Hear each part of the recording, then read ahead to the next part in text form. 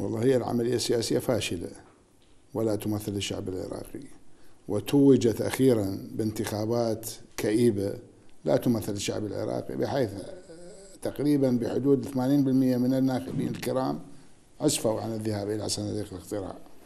بسبب ضعف العملية السياسية والمشاكل والخطايا التي ترتكب باسم العملية السياسية.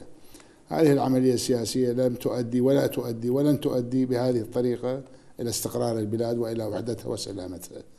هذا باختصار مفيد.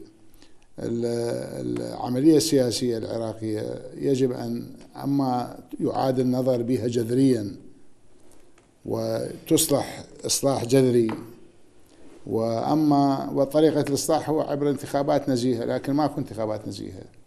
انتخابات 20% يحضرون من الناخبين فقط ويصير تلاعب كبير بالأصوات والتصويت وإلى آخره والأجهزة.